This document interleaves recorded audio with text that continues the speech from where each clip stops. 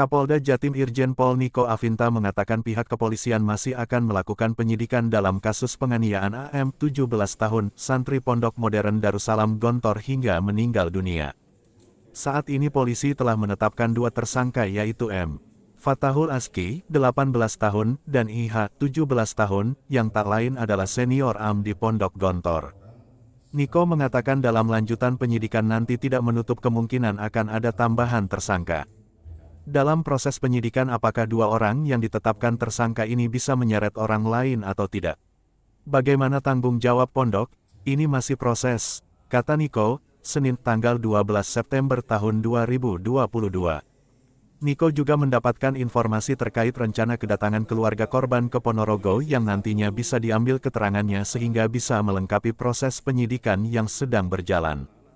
Dalam kesempatan itu, Jenderal Bintang tersebut juga menyampaikan hasil koordinasinya dengan Menteri Pemberdayaan Perempuan dan Perlindungan Anak PPPA Bintang Puspayoga.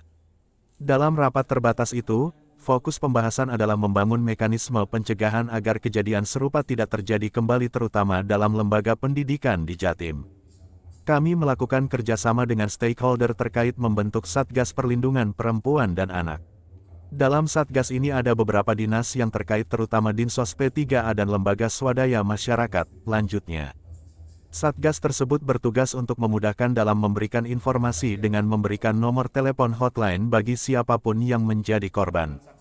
Korban bisa segera melapor dan kami bisa segera menindaklanjuti, tegas Niko. Namun yang terpenting, Pria asal Surabaya tersebut berharap setiap lembaga pendidikan agar mematuhi perlindungan terhadap anak sehingga bisa memperoleh pendidikan tanpa kekerasan. Ini bisa dibentuk peran aktif lembaga pendidikan dan anak-anak itu sendiri, pungkasnya.